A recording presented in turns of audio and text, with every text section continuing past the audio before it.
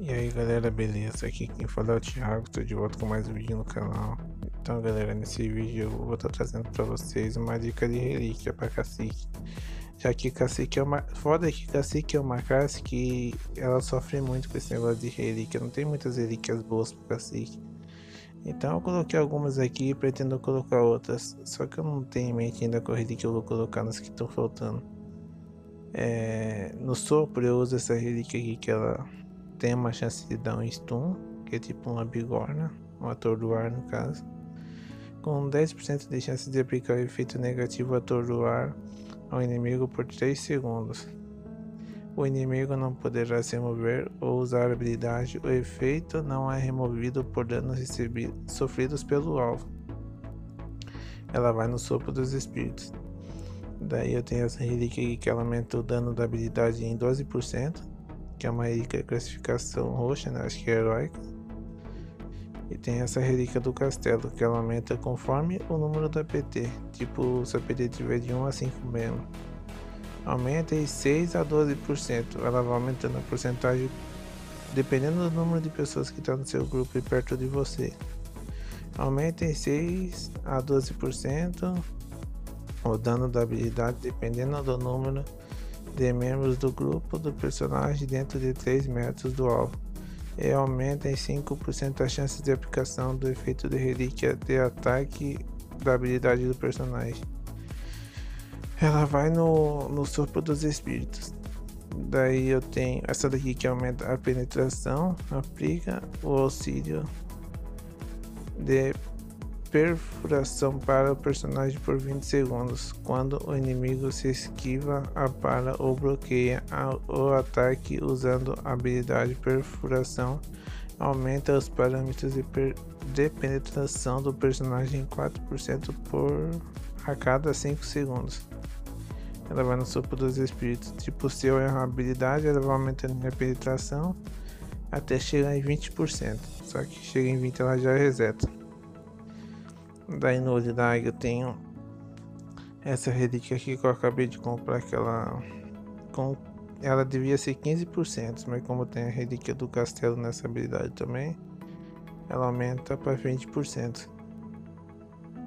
Então ela com 20% de chances de aplicar a penalidade de maldição ao inimigo por 7 segundos.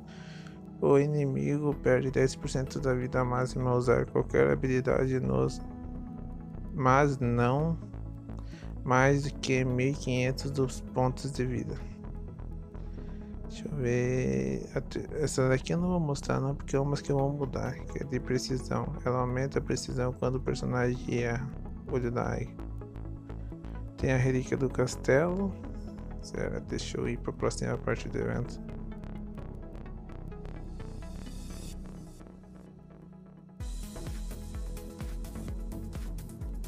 Onde que eu parei.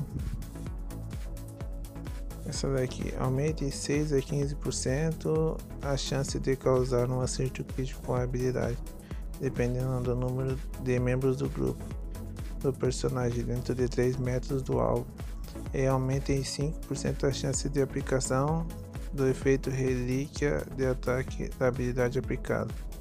Olho da águia, ela tipo se eu tiver, por exemplo, 50% de crítico, ela vai aumentar para tipo 65%, mesmo que 50% seja o máximo de crítico. Então fica 65% de chances de ativar, de dar um crítico com a habilidade. Eu tenho essa relíquia aqui que ela é de, de Natal, acho. Ela aumenta. Ela dá o dano crítico quando eu tô com a fúria ativada no meu personagem, por exemplo se eu ativar a fúria dando um golpe usando a habilidade, ela aumenta a fúria e quando a fúria tá. Não, ela ativa a fúria e quando a fúria tá ativa, ela dá um, um crítico com a habilidade. Um crítico, um crítico não, dá vários críticos, né? Porque até acabar a skill. Daí o personagem executa um, um, ataque, um crítico com uma habilidade ao usá-la com o auxílio fúria. Então ela vai no olho da águia. Ela pega em mago. Duas skills do mago, aliás. Muito apelou. Agora no, no vigor do urso. Eu tenho essa relíquia aqui de descanso, que ela com 10% de chances restaura 20% da vida máxima do personagem. Tipo, ela tem 10% de chance de curar 20% da minha vida. Além da minha cura, né, no caso. Relíquia teve, terrível do roubo secreto. Com 20% de chances, aplica o efeito positivo de roubo de vida secreta ao personagem por 20 segundos. Enquanto o personagem estiver sob qualquer efeito de controle, a vida será restaurada em 30% do dano causado pelo inimigo. Então ela vai no, no vigor e ela também vai no entusiasmo, já, que eu vou falar sobre ela. Com uma chance de 15%, aplica o efeito ataque ao personagem por 15 segundos. Durante o próximo ataque contra o personagem inimigo recebe, recebe o efeito negativo podridão por 20 segundos. A podridão diminui em 5% a quantidade máxima de vida do inimigo a cada 5 segundos. Por exemplo, quando eu ativo essa relíquia, ela vai reduzindo o HP do inimigo em 5% a cada 5 segundos. Daí até ela chega em 20, ou seja, ela reduz em 20% a vida máxima do inimigo. Foi tratativa, né? Daí no entusiasmo tem as duas mesmas relíquias, que é a do. Nossa, daqui é do efeito contínuo. Caralho, vou morrer. Deixa eu ir pro lado aqui. Academia, bicho.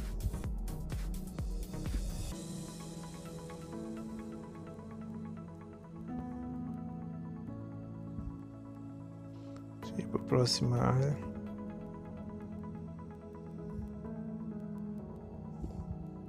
Deixa eu coletar o baú aqui também. Eu parei no entusiasmo, né? a relíquia do efeito contínuo. Aumenta em 40% o tempo de efeito de uma habilidade do entusiasmo. Como a minha relíquia, a minha relíquia na minha skill, ela ela dura 10 segundos e minha recarga é de 9.8, daí tipo, ela dura 10 segundos mais 40% de, de tempo. Deve durar uns 14 minutos por aí. 14 minutos não, 14 segundos a skill. E eu tenho essa relíquia aqui que é a mesma que eu uso no, no Vigor do Urso. Que ela quando eu tô stunado ela cura o HP. E essa daqui também eu uso lá no Vigor do Urso, que é a que tira 20% da vida do inimigo.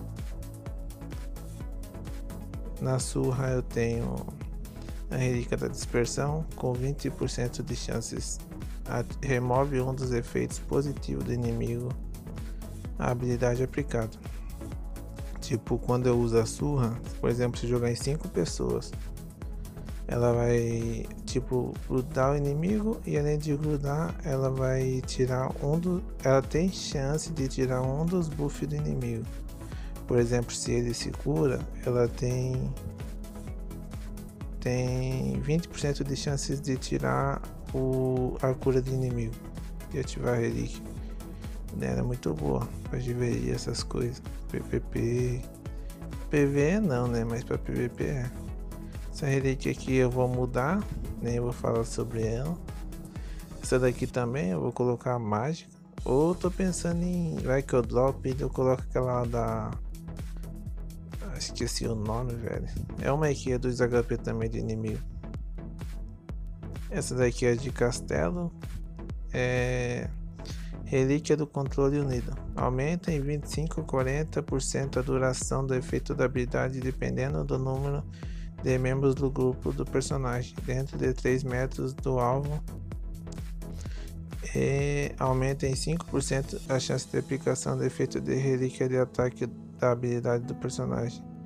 Tipo a surra, ela aumenta do, é, o tempo da a chance de ativar essa relíquia, só que daqui eu vou mudar, como eu falei. Ela aumenta 5% de chances de ativar aquela relíquia lá.